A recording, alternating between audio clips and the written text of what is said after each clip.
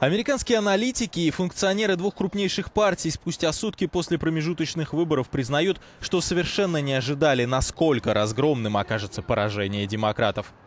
Однако тем сильнее чувствуется необходимость поиска компромиссов и способов для обеих партий работать в ближайшие два года вместе.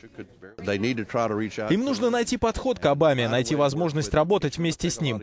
С его стороны это тоже потребует больших уступок. Я, правда, считаю, что с этим у него проблемы, особенно в последние пару лет, когда он, по сути, прекратил диалог не только с республиканцами, но и с демократами. Самое главное, что мы выяснили, система в Вашингтоне совершенно не работоспособна, и это следует исправить. Американцы разочарованы и требуют результатов.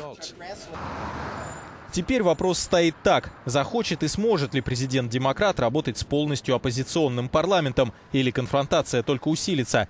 В последнем случае наблюдатели считают весьма вероятной попытку импичмента президента.